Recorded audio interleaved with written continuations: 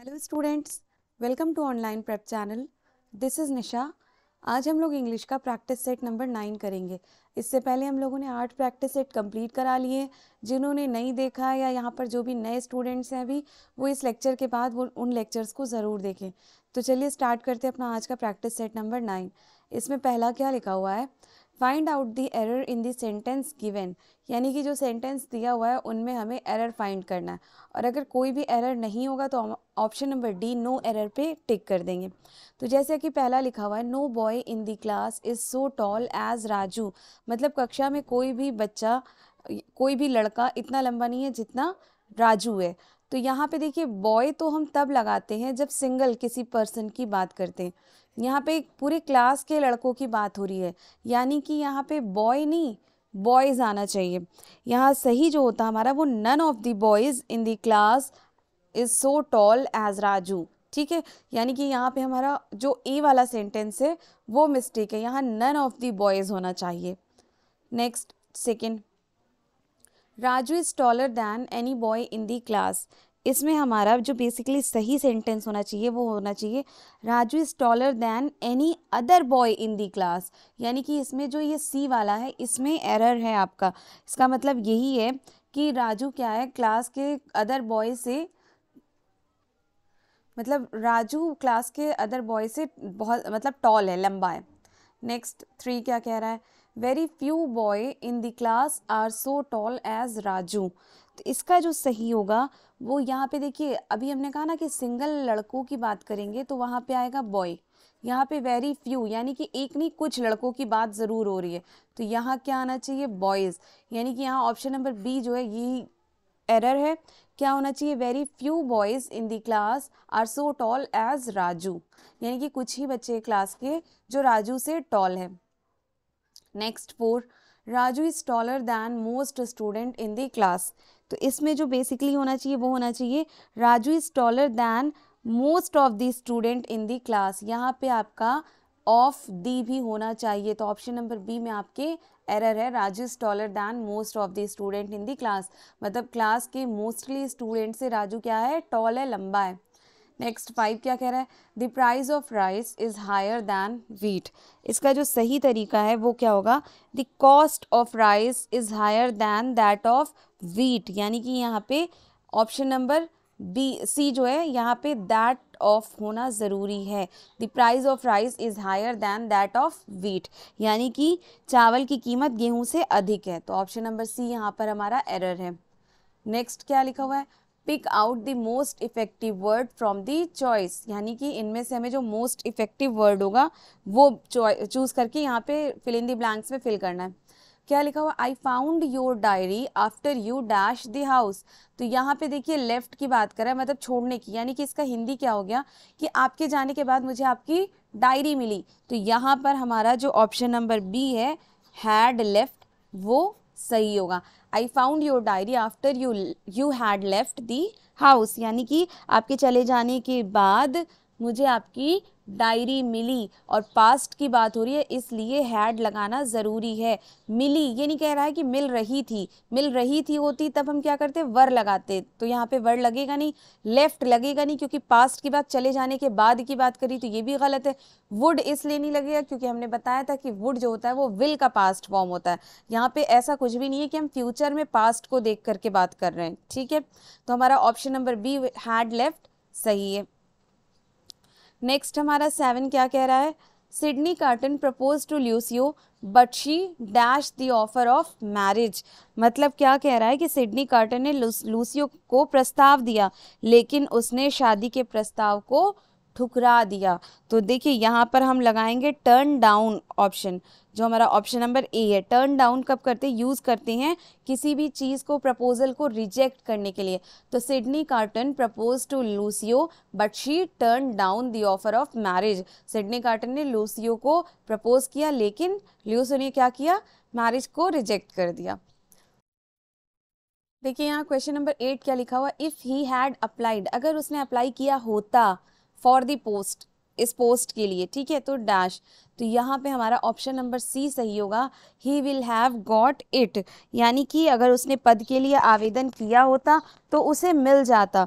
देखिए, यहाँ पे विल हैव का यूज़ कैसे होता है? When we are looking back from a point in time in the future, यानी कि जब हम फ्यूचर में एक समय से पीछे मुड़कर देख रहे होते हैं, तब वहाँ हम लगाते हैं विल हैव ठीक है? तो यानी कि अगर उसने इस पोस्ट के लिए अप्लाई किया होता तो उसे मिल जाती है option number C.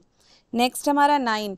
We must dash the lost time by hurrying up यानी कि यहाँ पर हमारा ऑप्शन नंबर ए जो है मेकअप फॉर ये सही होगा। मेकअप फॉर का यूज़ करते हैं to take the place of something lost और डैमेज यानी कि हमें जब किसी लॉस्ट और डैमेज की बात करनी होती है तो वहाँ हम क्या यूज़ करते हैं? मेकअप फॉर यानी कि हमें जल्दबाजी करके खोए हुए समय की भरपाई करनी चाहिए। ठीक है? समय जो हमारा खो गया, उसकी भरपाई करना है। Next ten a daily is a paper that dash every day यानी कि दैनिक एक पेपर है जो हर दिन आता है। आते हैं का इंग्लिश क्या हो जाएगा हमारा? Comes out a daily is a paper that comes out every day दैनिक एक पेपर है जो डेली जो एवरी डे प्रत्येक दिन आता है। Next eleven please dash the lights before going to bed bed पे जाने से पहले लाइट को ऑफ़ कर दीजिए। तो please put off the light before going to bed next हम ट्वेल्व की बात करें. He dash his father rather than his mother यानी कि कह रहा है कि वो अपनी माँ के बजाय अपने पिता का अनुसरण करता है।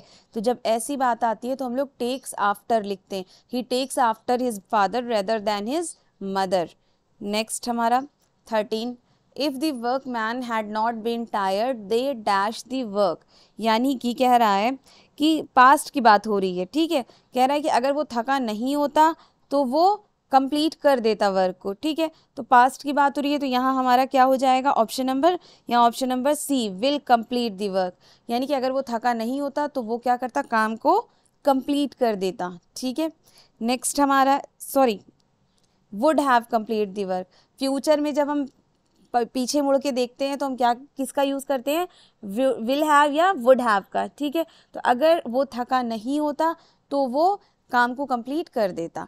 Next fourteen hardly dash see the picture यानी कि यहाँ पे हमारा हो जाएगा hardly can I see the picture मतलब शायद ही मैं तस्वीर देख सकता हूँ। नेक्स्ट यहाँ पे देखिए क्या लिखा हुआ है। Choose the correct word which very closely fits each definition हर एक डेफिनेशन के लिए बिल्कुल जो करेक्टली सुटेबल वर्ड होगा, वही हमें बताना है। फिफ्टीन में क्या कह रहा है? One who hates mankind is a यानी कि जो मैन काइंड से हेट करता है, उसे क्या कहा जाता है? तो उसे कहा जाता है मिसैनथ्रोप ऑप्शन नंबर बी हमारा सही है misanthrope next sixteen a cartographer makes dash यानी कि कार्टोग्राफर क्या बनाता है? तो वो बनाता है मैप्स कार्टोग्राफर जो मैप्स बनाते हैं, उन्हें हम लोग कार्टोग्राफर कहते हैं।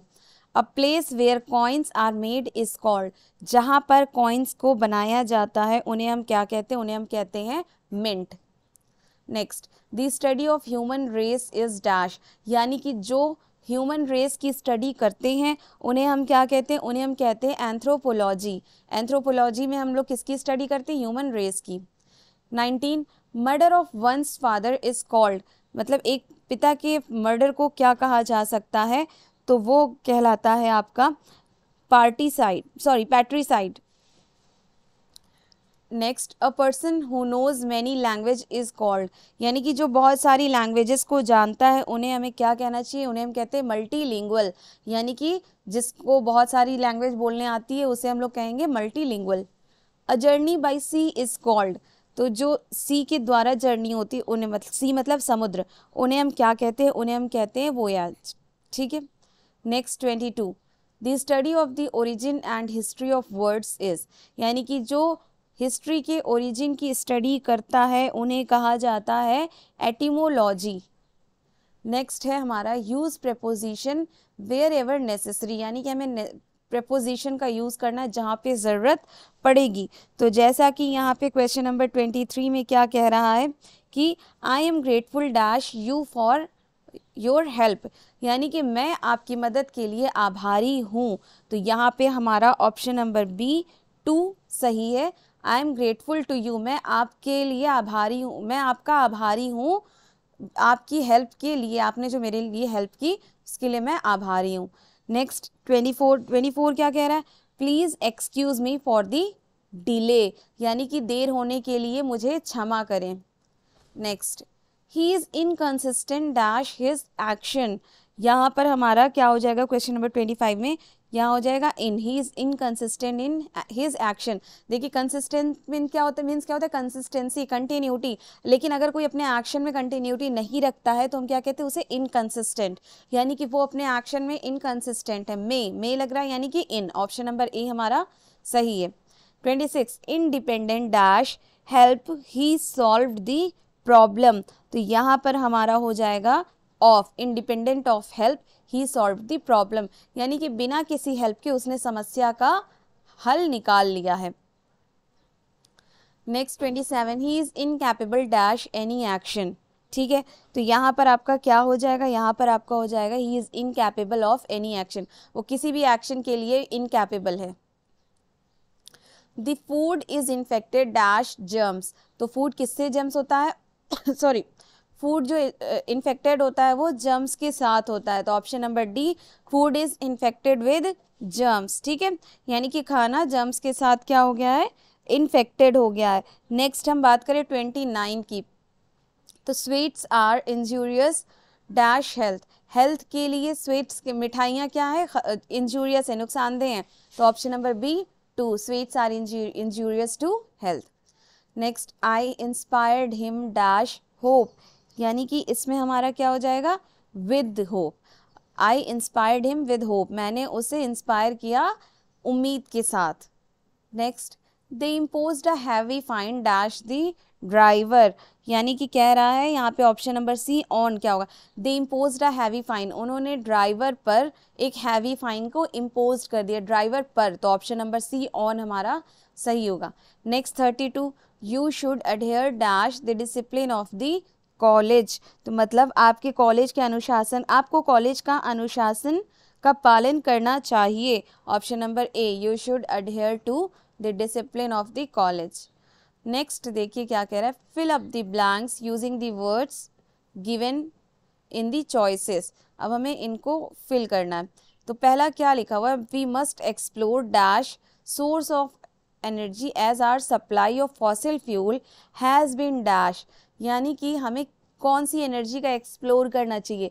तो हमें नेचुरल एनर्जी का, आप सब जानते होंगे आजकल रिन्यूएबल एनर्जी की ट्रेंड में चल रहा है। यानी कि हमें नेचुरल सोर्स ऑफ़ एनर्जी को एज आर सप्लाई ऑफ़ क्यों सॉरी हमें natural source of natural energy को एक्सप्लोर करना चाहिए, क्योंकि फॉसिल फ्यूल्स क्या हैं, वो ख़त्म हो रहे हैं। ठीक है? तो हमारा option number C exhausted natural और एग्जॉस्टेड सही है।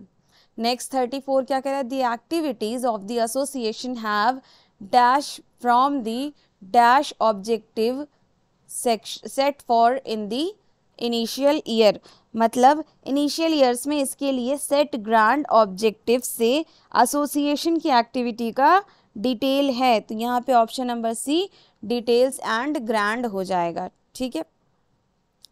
Next the hunter was attacked by a pack of wolves मतलब भेड़ों के झुंड। जब हम झुंड, भेड़ों के झुंड की बात करते हैं तो हम कहते हैं pack of wolves. The hunter was attacked by a pack of wolves, यानी कि भेड़ियों के झुंड से झुंड ने हंटर पर क्या किया? शिकार पर, शिकारी पर अटैक किया।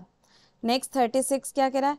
He has a good dash over the ancient language too यानी कि उसे प्राचीन प्राचीन लैंग्वेज की भी अच्छी इंफॉर्मेशन है तो option number D he has a good information over the ancient language to next thirty seven the construction of the house has been dash because of the dash of the cement in the market यानी कि construction of the house has been यहाँ पे क्या आपका आ जाएगा? तो यहाँ आ जाएगा आपका हेल्ड या because of the non availability because of the non availability of the cement in the market.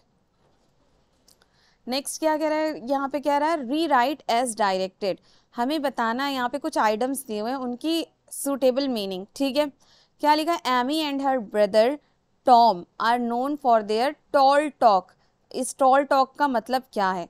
तो देखिए हाई पिच टॉक मतलब तो है चिल्ला के बात करना. तो टॉल टॉक जो आइडम्स होता है, इसका मतलब ये नहीं है.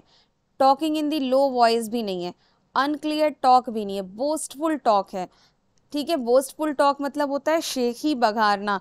जब हम किसी चीज़ की शेखी बघारते हैं तो हम क्या उसे कहते हैं कि वो बोस्टफुल टॉक है।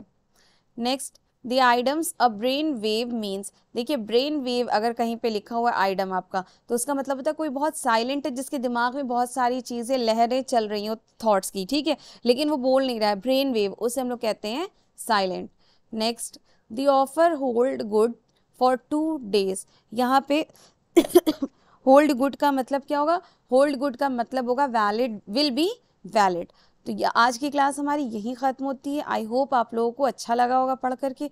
और किसी को अगर किसी क्वेश्चन में कोई भी कन्फ्यूज़न हो तो आप कमेंट सेक्शन या टेलीग्राम चैनल पर पूछ सकते हैं। Thank you